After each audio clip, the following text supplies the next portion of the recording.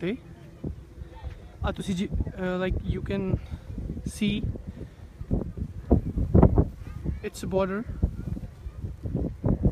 Burma Bangla border whole of the villages are being burned by the Burma authorities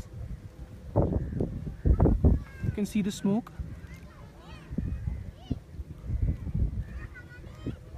we are here from the very last two days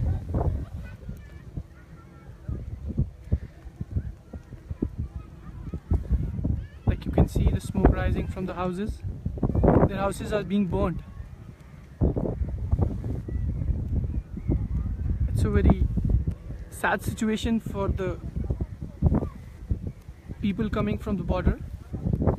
This is a village mundu village on the burma border.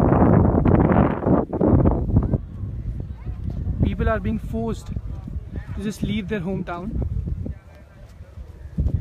They are coming in huge numbers it is being estimated that 6 lakh people have come have